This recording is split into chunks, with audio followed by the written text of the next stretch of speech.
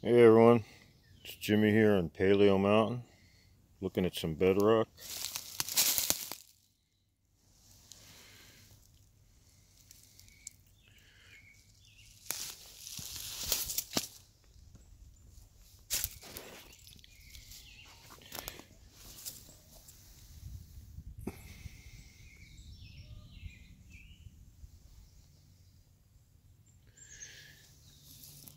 Bedrock here is very strange.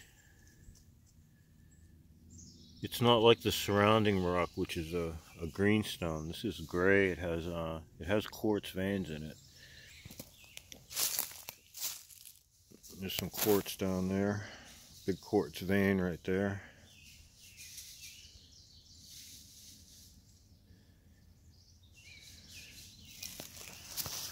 Bedrock here is very strange. What I'm standing on is a, a, a mound.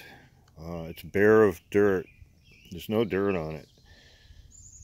Very little. The trees grow right off the rock into the cracks of the rock. And some dirt collects into around the roots of the trees, but this is what you get underneath your feet. Looks like very ancient ground.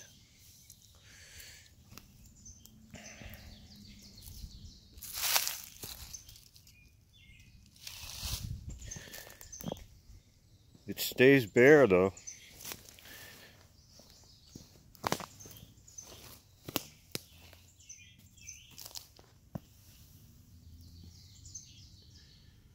Maybe it's a giant tree or a giant.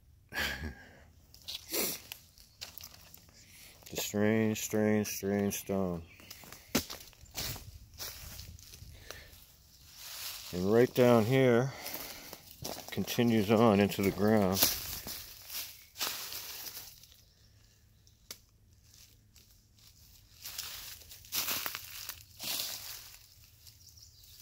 Quartz veins going through it.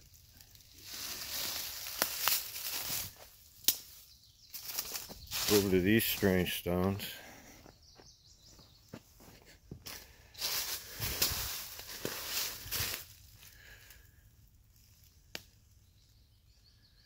There's a mound here. All this quartz surrounds this thing. There's a nice one right there.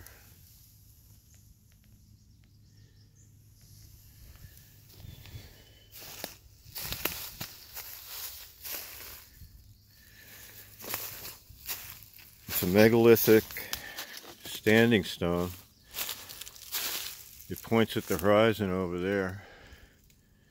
This whole side's been pecked and ground.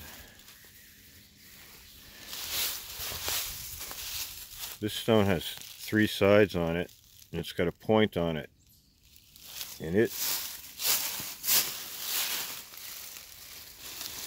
can function as a sighting stone. It took a lot to form it three equal sides. When you get down here, get all these artifacts coming out of the ground.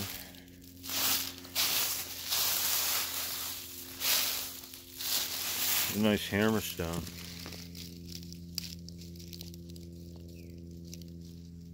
This maple tree grew up around all these artifacts and pushed it up.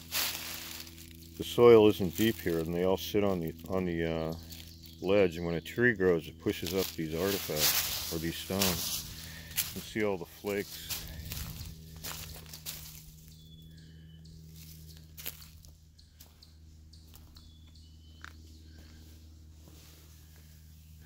Who could that be? Very strange. There's another standing stone there. And there's burial, burial mounds on the other side of that. Red ochre mounds.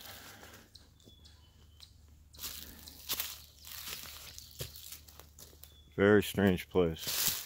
There's more of that bedrock coming out of the ground.